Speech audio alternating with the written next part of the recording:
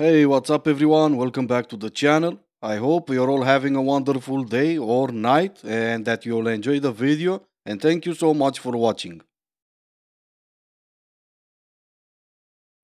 If it's date three or four and she hasn't at least attempted to kiss you or lean in, we're just there for the free food, buddy. Yeah, we already know that. Food equals, remember? That's why we're doing coffee dates now. Huge red flag in the beginning stages of dating someone. You may think, no, he's nothing like the rest of them. But at the end of the day, you are a product of the five closest people you hang out with. Five people? Come on, let's be honest. More like 500. But you're talking about you not liking one of his friends? At this point, you're just looking for red flags even when they're not there. Do not let anyone shame you for being boy crazy. I always hear people and they're like, you shouldn't be boy crazy after high school. Wrong. Sorry, I like having fun. I'm 23, and until a couple of months ago, I was boy crazy. I have a boyfriend now, so it's like, uh. but I love being, I love being boy crazy. It's fun. Talking about boys with your best friend, the boys at the bar, the boys from high school, famous boys. It's fun. Not everything in life has to be like politics, Mm, uh, economics, crypto. It's like you could just be like, look at that boy. He's being a boy. Look at his Instagram. Boy, boy, boy. It's fun and harmless and a good time. Don't let anyone shame you for being boy crazy. And I don't even like boys that much. Girls, men, it's like, but talking about boys, come on, it's so fun. Be a little boy crazy. I can find so many reasons why being boy crazy will be wrong at your age, but sure, whatever. Man crazy will make more sense, but hey, what do I know? But this? I have a boyfriend now, so it's like, ah. And also this? I don't even like boys that much. Girls, men, it's like, oh. I really hope your boyfriend is gonna see your video. Can anyone else um, please tell me if they think dating in this day and age is a waste of time? I'm a single mom. I work, I study. I don't have time for this. And everything you said is appealing to nobody. You work, you study, good on you. That takes a lot of your time. Being a single mother takes even more of your time. So where exactly do I fit in? What exactly makes you so special that I need to choose you and not someone that is not a single mother? Dating sucks, I agree. And with time passing by, I have a feeling it's gonna suck even more for you. You might not be a creepy guy if you get caught checking a woman out and your immediate response is to apologize to her. Yeah, no. Especially since I was curious enough to check your account, and every single video of yours is you half naked doing whatever. Does that mean I need to apologize to you every single time I'm watching one of your videos? yeah, no, not gonna happen. Hmm, I'm more of a made you look kind of person. yeah, good on you. And this is honestly just some stuff that I can actually post here on this platform without getting in trouble. You know what the funny thing about life is? Is that it's so unfair. It's so unfair that right now in this time in our society, we're so obsessed with making everything fair. You can't say this, you can't do that. You have to respect everybody. And no, you don't.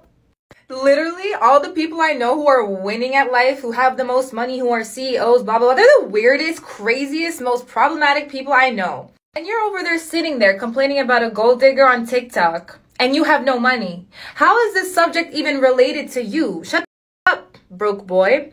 Be delusional, sis. You're gonna get exactly what you want. Well, first of all, I'm a broke boy complaining about it on YouTube. I hope that's gonna be okay with you, oh, you TikTok goddess you. Second of all, how exactly being delusional is gonna help you? Does being delusional mean something else in your head? Let's take a look at the definition then. Something that is falsely or delusively believed or propagated. Okay. And here are some examples of delusion in a sentence. He has delusions about how much money he can make at a job. He is living under the delusion that he is incapable of making mistakes. She is under the delusion that we will finish on time. I also have one. She is under the delusion that she's anything else but a sugar baby. Let me tell you why, as a female, why you should never apologize. Ever. Simply because I have never seen female that I respect ever apologize in her life. Oh baby, I'm so sorry. I was wrong. That just feels weird. Like that's like something is wrong with this picture if you see like a female apologizing. It's not it's not right, okay? We go through too many hormones for you to take us seriously, okay? So if you don't take us seriously, we should never even have to apologize in the first place. Oh, now I get it. That's what you meant when you said you're delusional. The only reason I'm interested in getting into a relationship again is because look how cute I am. Staring up at you. Wouldn't you love that? Somebody date me. Mm, no. What happened there, princess? Did you reach the point where you realize that no matter how strong and independent you are, you're still gonna need someone in your life? Okay, let me help you out then. Any of you guys watching this video want to date her? No? Sorry, princess, I tried. Hey, real quick. Strong women are softened in the presence of secure men. That's it. Oh, that's it? Okay, then my turn. Obviously, we have different definitions of what being a strong woman actually means.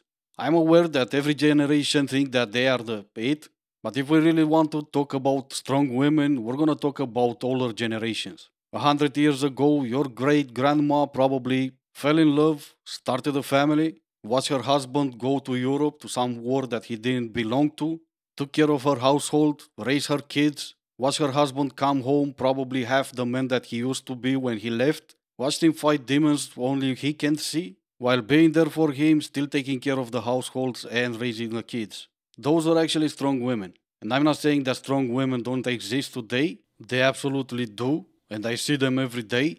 But like I said, we're gonna have different definitions of what being a strong woman actually means. And I'm willing to bet every single money that I don't have that by your definition, being a strong woman means actually being annoying, loud, and aggressive. And there is not a single secure man out there that will want that in his life. Beauty and the Beast is the one that is really upsetting to me because they try to make it like the Beast is this disgusting monster. The Beast is easily 6'4. Definitely could play for the NFL. Pulls off capris. He's a homeowner with a mansion that has a library. That's you money, okay? And he loves to read. That's adorable. I know what some of you guys are thinking though. You're like, Hannah, he was a little controlling. Um, he never let her leave the house. That's my literal dream. to never leave a mansion and have utensils getting me food the whole time. Alright, who said women can be funny? I posted this video just to prove a point that women can be funny. Obviously, it's not her, but as soon as I find a funny one, I'll make sure to post her video.